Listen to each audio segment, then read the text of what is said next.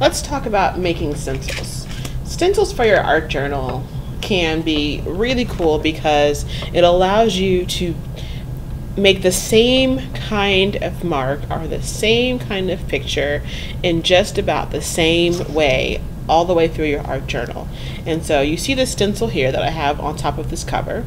It's the same three times. I repeated the same stencil further back on another page and if you keep your stencil you can always have the exact same design. So what you need, you need a cutting board and you need an X-Acto knife. You can use a plain card or you know any kind of cardstock, a thick card. And the best thing to do is if you know what you want, you can draw on there already the design. Or if you want to do some freeform cutting, like what I'm doing, you're just going to make sure that you're cutting using your safety, cutting, you know, on top of the board and making sure that you're pressing into the card to make your design.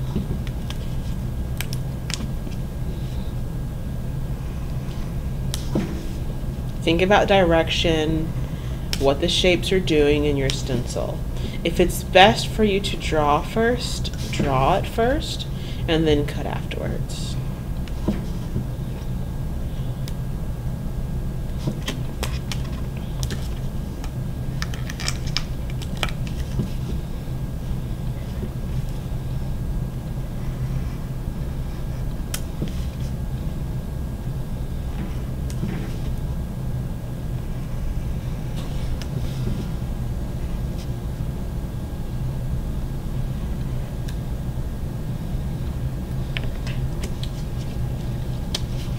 So here's a design and I have like two L's in this rectangular shape in the stencil.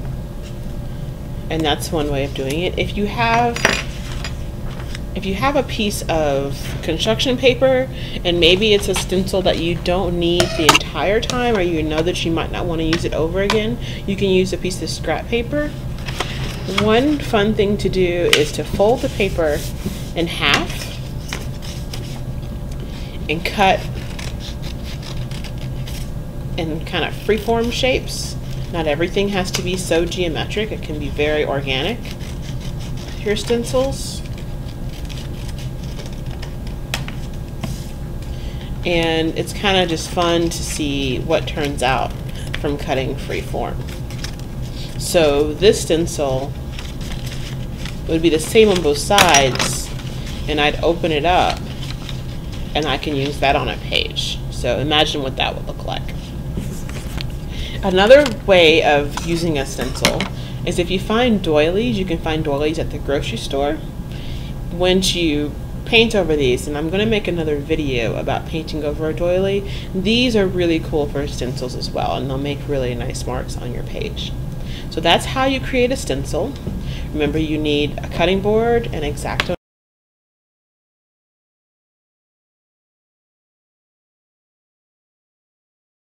knife and you have to follow the safety rules.